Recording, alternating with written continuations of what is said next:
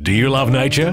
Corroboree Billabong is home to an abundance of crocodiles plus a huge variety of birds and other wildlife in their natural habitat.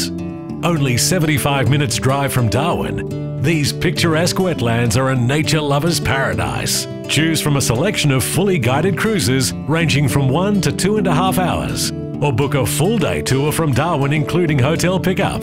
Corroboree Billabong Wetland Cruises. Nature at its best.